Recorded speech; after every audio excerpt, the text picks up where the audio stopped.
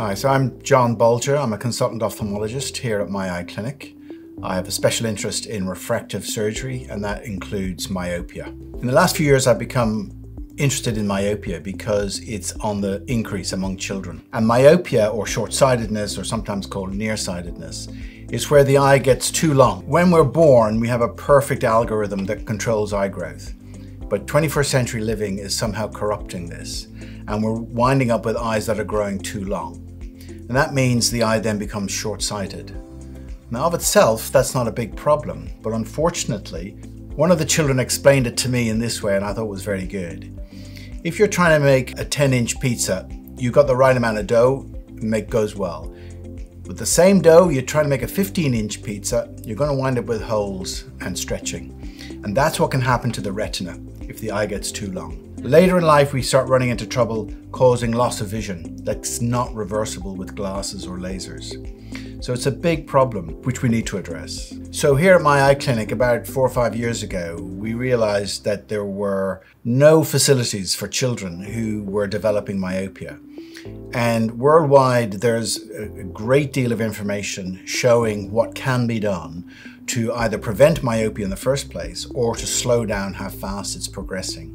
But there was nothing here in the United Kingdom. So eventually we decided we needed to do something, so we started the Myopia Control Clinic. So now we have hundreds of children attending our Myopia Control Clinic.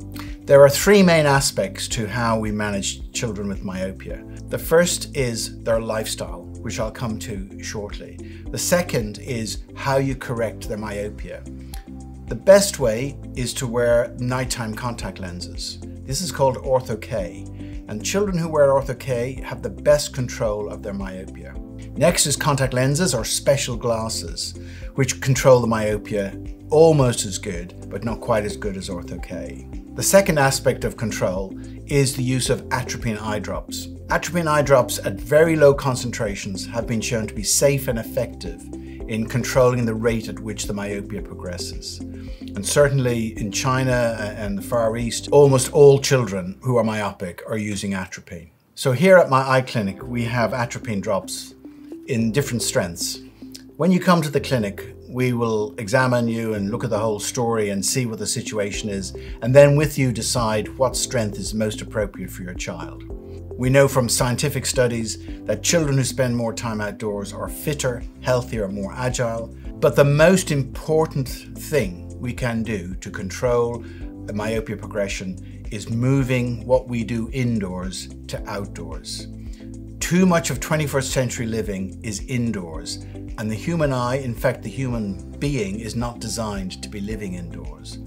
We know from research that the more time the child spends outdoors in natural daylight, the less likely they are to be myopic in the first place, and for their myopia to progress much more slowly if they spend more time outdoors. There are other health benefits from being outdoors as well. We know from scientific studies that children who spend more time outdoors are fitter, healthier, more agile, fewer problems with mental health, and better at building relationships with their peers.